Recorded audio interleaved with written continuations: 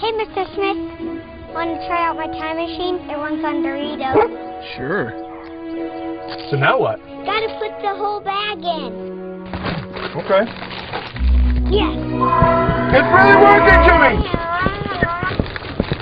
This is the greatest moment of my life! Get out of my yard! Jimmy? You're so old.